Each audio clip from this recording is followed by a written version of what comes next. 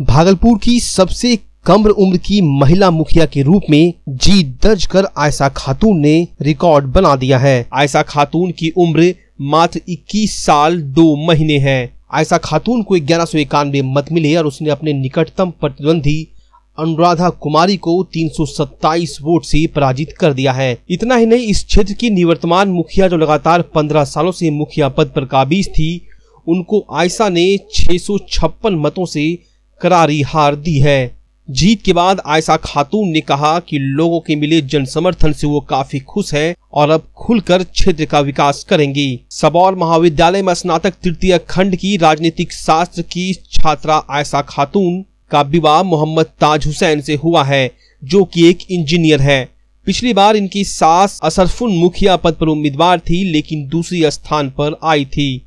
परंतु इस बार सास के बदले आयशा खातून मुखिया प्रत्याशी बनी और जीत का परचम लहराते हुए पूरे बिहार की सबसे कम उम्र की महिला मुखिया बन गई है। सबसे गजब ये हुआ है कि भागलपुर की छात्रा है मुखिया चुनाव लड़ी थी और जीत गई। 21 वर्ष महज उम्र है। सबसे कम उम्र की मुखिया पूरे बिहार में बनी है और इतिहास रच दिया इन्होंने। पंचायत चुनाव में गाँव का माहौल मुझे ठीक नहीं लगा। मतलब मुझे मतलब सपना था कि गाँव के लोगों की मदद करें, गरीबों की मदद करें। इसीलिए मैं चुनाव में खड़ी उतरी हूँ। और सब जनता की सपोर्ट से जीत हासिल हुई है। इस और मेरे तरफ़ से पूरे पंचायत फतेहपुर पंचायत की पूरे जनता को शुक्रिया अदा करती हूँ।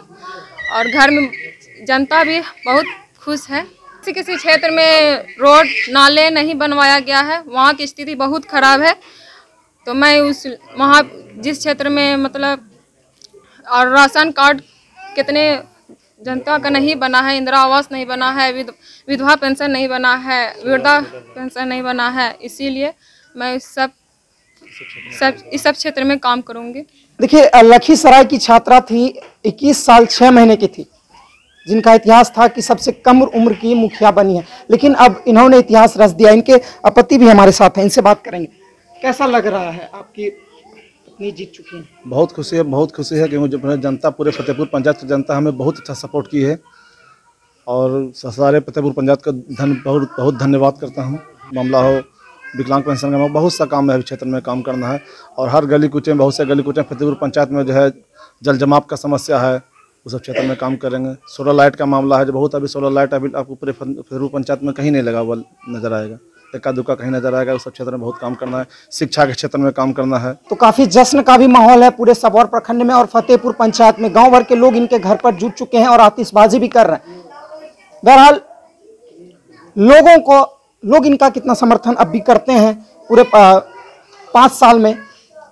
क्योंकि इन्होंने जो जिनको हराया है, वो पंद्रह साल से मुखिया बन रही थी, तीन टर्म मुखिया रही थी। उनको इन्होंने शिकस्त दी है। तो बहुत बड़ी बात है। लेकिन और भी समर्थन चाहिए, मुखिया बनने के बाद भी समर्थन चाहिए, क्योंकि और भी अकेले ये कोई काम नहीं कर सकेंगे। लोगों के समर्थन के बावजूद ही कोई काम इनका पूरा होता। है